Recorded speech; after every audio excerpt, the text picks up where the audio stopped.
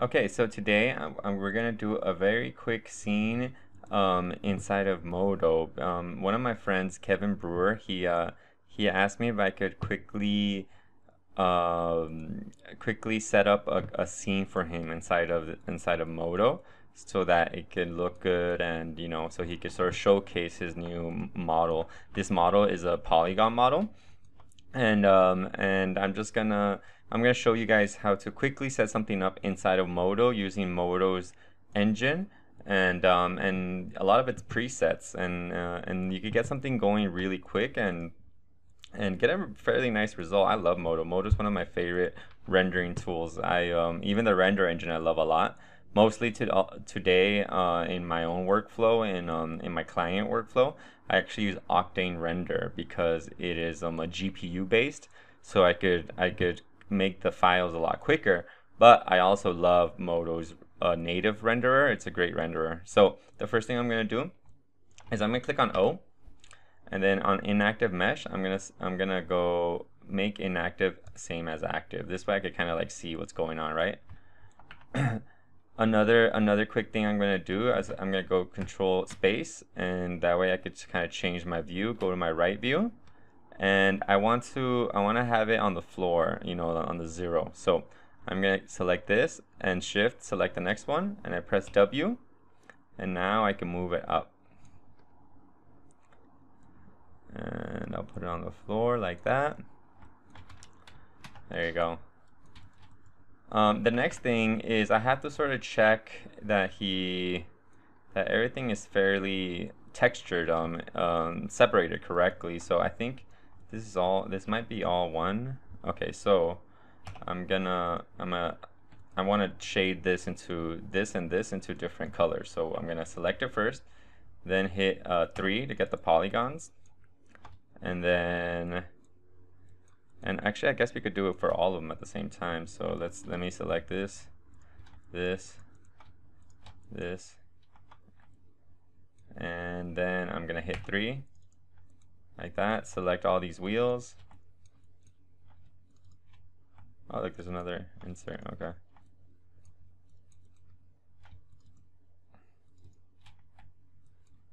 Mm -mm -mm and then I'm gonna make a new material for them. I'm just gonna press M. And then we'll call this one rim color. And for right now, we'll make it like a dark, like a dark gray that. And then the inside of these wheels, oh, they're kind of all, they're all one thing, so it's fine. We're gonna select all of these. Oh, whoops. Ah. And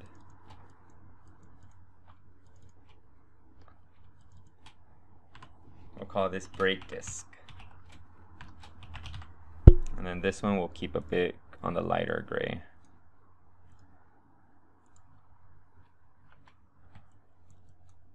And um, I'm kind of thinking about these bolts. Might as well.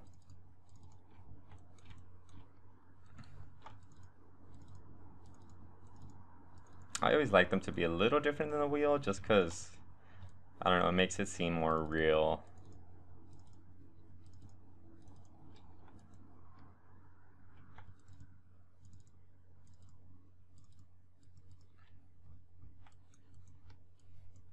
So M, bolts. And this one will go lighter. Okay, so let's just start. Let's. I'm gonna go here to my render tab, and when I press play,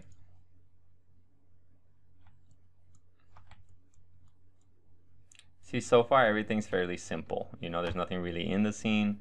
Um, he already sort of colored things in a very simple shaders and um, you know obviously there's no environment um, but you know so far everything looks fairly good for for where we're at in the process. Um, the first thing I'm gonna do is press F6 and these presets come out. And I'm gonna actually just start using these very very um, liberally because it sort of starts to fill up your your your your scene. So first I'm gonna go meshes and then basic and then I'm, I'm going to add a shadow catcher. So I double click And then see now we have a shadow catcher. And then um, uh, I'm gonna go into F6 again. And if we go here to materials, they have a bunch of materials. They have enhanced Modo materials. They have, um, but what we're looking for is paint. So we go to here, painted, car. And here we already have a nice like selection, right? That's, um, I got a feeling that maybe, maybe this dark blue. And all you have to do is basically draw, uh, drag and drop and then let it go. And then see now we already have something going. Um, actually, I feel like there was a really cool one down here. Let me see. I guess maybe this one. This one's really nice. Maybe a little darker with some flex, um, uh, metallic flakes into them. Okay, now for uh, and then like for example these wheels, right? I can um, I could go here to metals. Uh, I don't know. Maybe I want it. Um, let's see.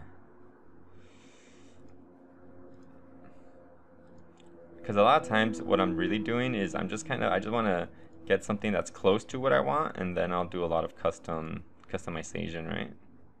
Kind of want like a um, dark a dark chrome, like a dark matte chrome, basically like a gunmetal. But I don't think it has a gunmetal here. But we could we could always make one, and I'll, I'll show you guys how I do that too. So give me one second. Mm. Let's see how let's see how this platinum looks. So go drag and drop.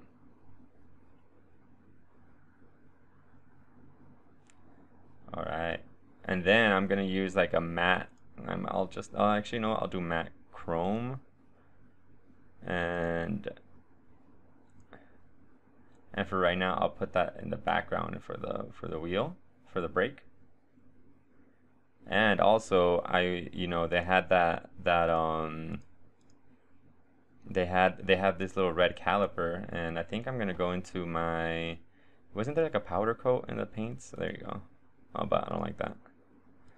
Let's go to let's go to car paints, and I'm just gonna paint it crystal red metallic. Ah, whoops! I, I, I clicked on the wrong one. So Control Shift, Control Z to undo that, and let me try that again. There you go. There you go. It's very subtle the change, but it's uh it looks good. Another thing I wanted to do is light these up, right? It doesn't have, he has some lights here, right? I feel like these we could light up. So let's let's select them. And then let me see how he actually developed these. Okay. It looks like he already had a, a bit of an idea here, right? So I wonder what, it, let's see. I'm trying to figure out where that is. There we go. Oh, whoops. I wonder what, what material that is. Let's see. So uh, basically I'm trying to find what, what material this is, right? And, um, and let me go back to my model. And I want to see, because it looks like there's some sort of halo here, and I don't know where, let me see. That's cool too, we can make that chrome. Okay, so, but the first, first things first, I'm trying to find this stuff. And then I'm gonna go four, three, hide, and then here I'm gonna hit 4 and then that way it'll let me select the shade. Oh okay. Wait. Okay this doesn't this doesn't have any. It's just it's just the base shader right now. So what I'm gonna do is select those by actually what I'm doing is I'm doing a loop select. So I'm selecting this and this and I press L and then that that uh that gets me that. And I need to get those too. So I'm gonna first hide these so I could get to them by selecting them and pressing H. And then click, click, L. Click, click, oh man. If you press Control and click on something, it deselects it. L. Click, click, L. Click, click, L. And then I'm to press M. We're to go very light. And we're to call this uh, halos. Right? And then here under materials, I'm gonna, I'm gonna click on these little tabs right here, material trans. And then under here, that's the luminosity. So I'm gonna go like maybe, maybe five. And so now this is gonna start emitting light. And um, and since these are covered up in in uh, in in um, with glass, I'm not gonna worry too much about all this inside stuff. So um, let me unhide by I press Shift U to unhide all of these stuff, all of this stuff, and then all this stuff. All right, is there any other?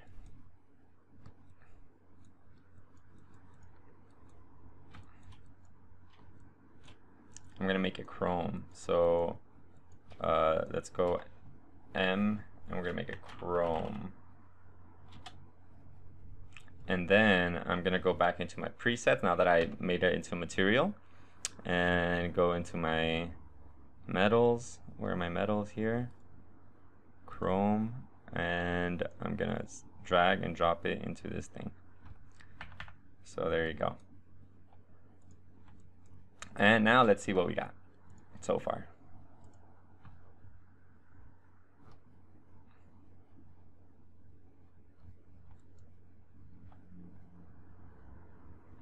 Very cool. So what about our environment? See, even without, honestly, even without an environment, I think I think this looks good already. But uh, I want to show you guys how to get something nice, nice and clean done. So uh, then we're gonna go back into our presets, and you can um, you can go here, right, to environments, and it has a bunch of these environments. You know, so like I don't know, let's just let's just double click them, just kind of like see see what type of result we get, you know? Hmm, that's already looking real good. Let's see, how does this look?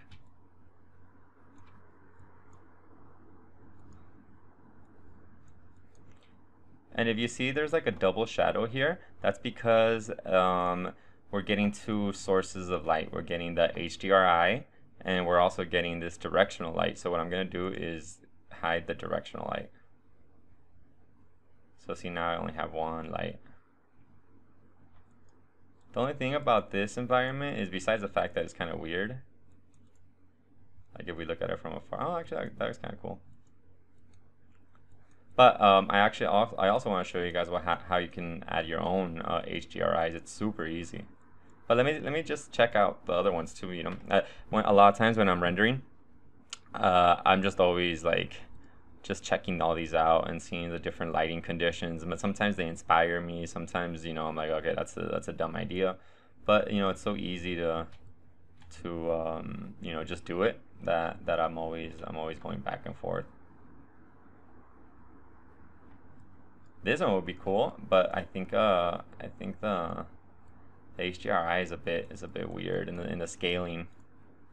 You could always you could always uh like that's kind of cool, right? Something like that. Let's see, maybe we could get the other angle like that. No. So even though this is really cool, a really cool lighting, let me see. Oh, there's a little heliport, helipad, huh? Let's see. And that that's a really good thing about Modo is that the, the all this stuff is already included with it, so it's really, you know, all I'm all all of this except for the model, obviously. All this is just preset stuff, you know, and um, but like let's say that you wanted. Oh, let's see this one.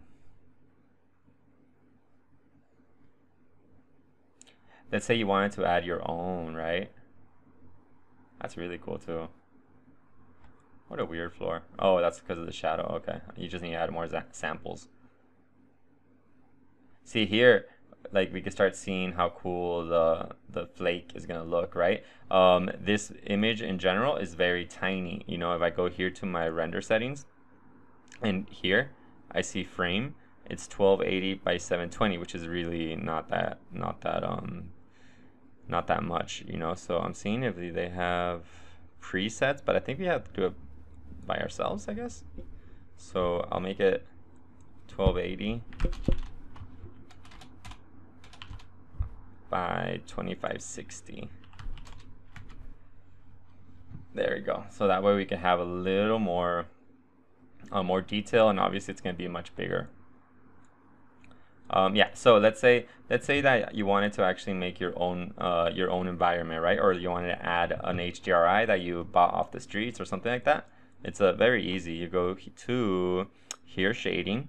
Um, right now I'm under my render tab, and then here we got environment, right? And these are all the different environments that I have right now.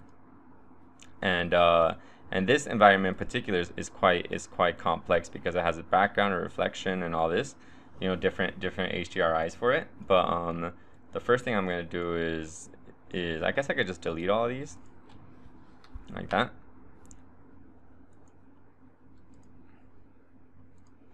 And then here under environment, I'm gonna go add, add layer.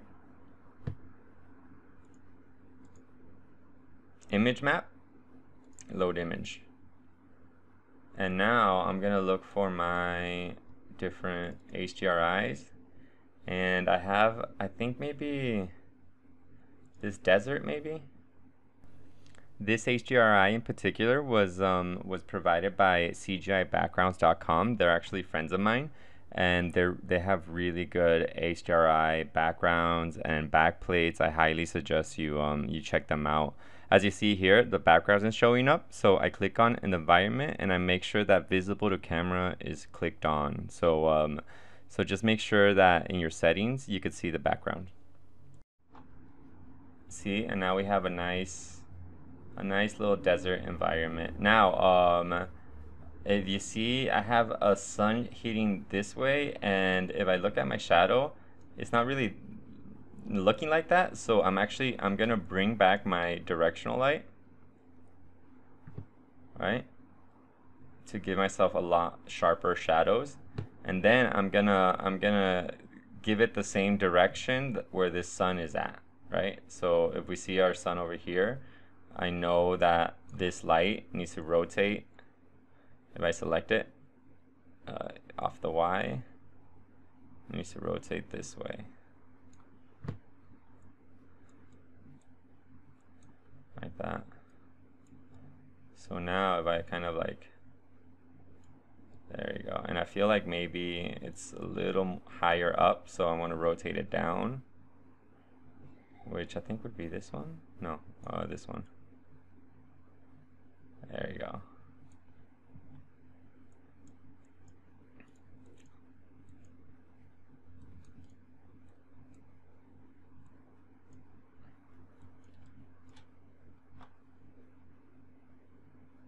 And see, now we have a nice little, little rendering. Maybe something like that, right? And there. So to actually render, I feel like this might be a little. I want to I want to check out the this rubber material and uh, and see where it's at. So let's go to shading. Uh, here rubber tire. And I the specular we're gonna go down I feel like it's a little too white. And then also just the regular color, I'm just gonna go much darker. There you go. Well, not that dark, like that. There you go. And so, now that I have this sort of like scene set up, I kind of want to um, go back to my presets, F6, and go to materials.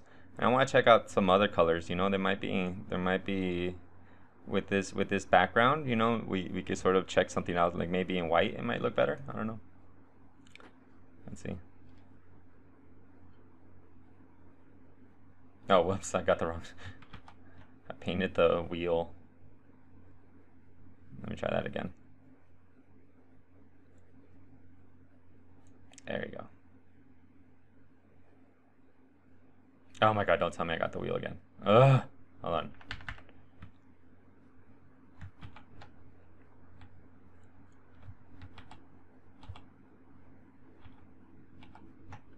Ah! There you go. okay.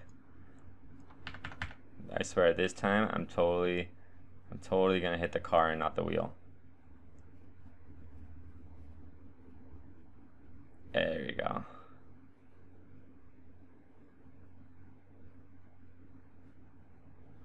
Hmm.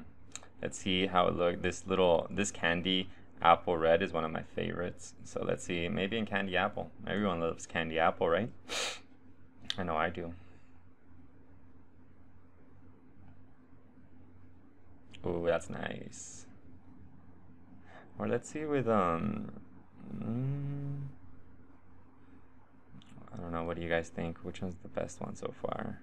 I feel like with these sort of like um, retro retro future cars, you know, like I feel like even even warm whites are are kind of good for them.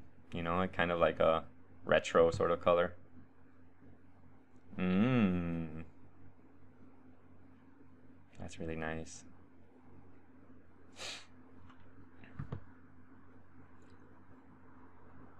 Oh, and then another. Mm, never mind. I was gonna say, like, let's say, let's say, for example, the, I kind of like this one the most actually. Um, let's say, for example, um, you know, I'm trying to see if there's enough haze in the in the environment. You know, there's a little bit of clouds. And also, if I look at it like this, oh, actually, that does look, kind of look right. I feel like maybe, I feel like that's not the right direction. So that's, like, I feel like it's more this way.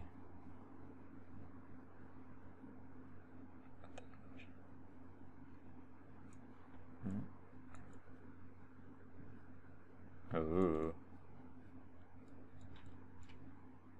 Oh, okay. So, you know how there's a little bit of haze in the in the little bit of clouds in the sky? That usually means that the shadows are gonna have a bit of a blur, and you see how um, sharp the shadow is. Uh, to give it more of a blur, click on your directional light, and then um, the spread angle is what you're looking for here under directional light, spread angle, and then I don't know. Let me go. It's not that it's not that hazy, so maybe like ten percent, right? Another thing too. Well, actually, well, and also if like let's say if I if my if I turn down the radiant radiant exitance down to like two, it um it um it sort of like lowers the power of the of the light.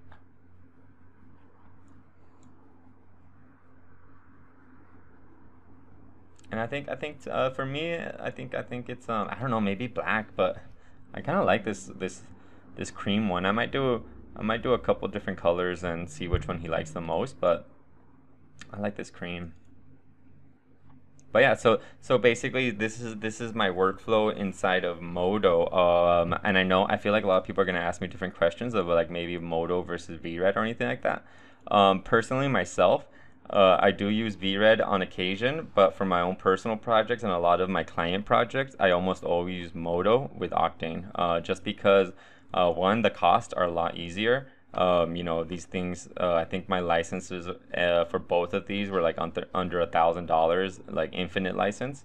And secondly, I just really like the workflow of Modo. Modo is one of my favorite 3D applications and I liked how it's how its animation works, how its shadows work, how its materials work, how how everything works on it. So um, so I, I always highly recommend people trying out Modo and um, and see for yourself what, what you like more. You know, in the end of the day, it's all about getting the right image across. There's no, I don't think there's such a thing as some one one software being better than the other, as long as because in the end it's just ray tracing you know it's just doing different calculations some are a little faster at doing it some uh, some are are, are um, as uh, streamlined but in the end if uh, if the whatever you're using is giving you a result that you like and uh, your clients like then that's the correct result you know? Like like don't don't worry so much about about what um you know uh, oh is this is this thing better or is that thing better you know? Just sort of just sort of uh um, you know whatever works for you is, is the correct answer. But i highly always highly highly recommend trying out modo it's one of my favorite. I love using modo um, yeah so yeah let me uh, i'm gonna render these out and and as i talk I'll, I'll, I'll put the final renderings on the on the screen. And and as you can see here here they are. Actually i don't know what they look like. I'm still recording but i'm sure they look very pretty. And uh, i hope that um that you guys learned um, some nice little quick workflow inside of Modo. Big thanks to um, CGIBackgrounds.com um, for providing me with this uh, HDRI and um, and the whole library of them. Uh, they're all they're, they're, very good, very high quality. Uh, I suggest you guys take a look at it. and obviously I always suggest everyone try out Modo and render with it. I love it. It's a it's a great software. Um, I hope you guys have a nice day. Good luck on your 3D journey, and, um, and yeah, see, see you guys next time.